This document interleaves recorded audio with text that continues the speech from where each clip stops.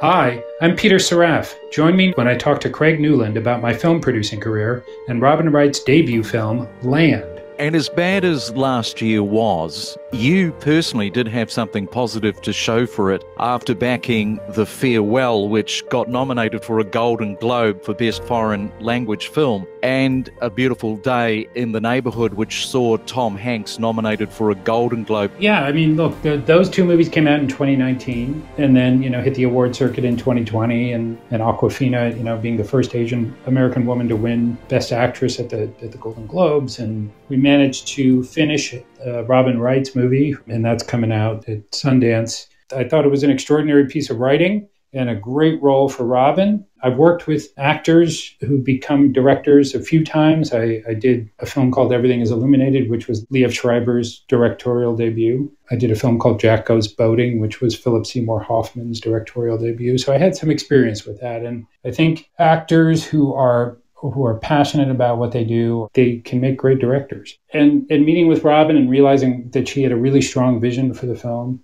she directed, I think, 10 episodes of House of Cards. You know, it's different. Um, directing television, but she she had a familiarity with being behind the camera, and she had a familiarity with directing herself, and that was probably the biggest challenge. This movie is about a woman who leaves everything behind in Chicago, and retreats to a cabin on the top of a mountain in Wyoming with no electricity, no phone, no running water, because she just cannot be around other people. She's getting to a point in her life where she can't function except in isolation.